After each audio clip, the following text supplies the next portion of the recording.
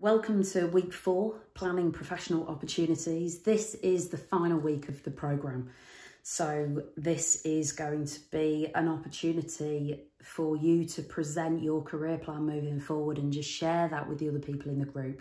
Share your thinking. Where is your thinking at with regards to this stuff? And the plan that you present um, might be for the next month. It could be for the next three months, for the next year or even until the end of your doctorate.